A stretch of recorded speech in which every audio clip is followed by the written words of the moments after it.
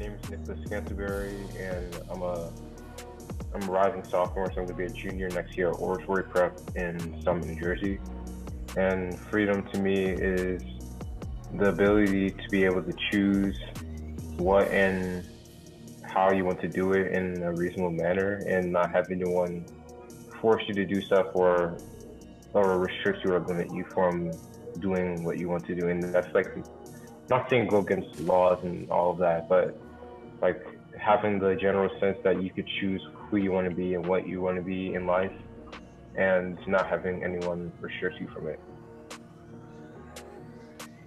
My name is Shannon. I just recently graduated from Howard University with a degree in psychology. Um, and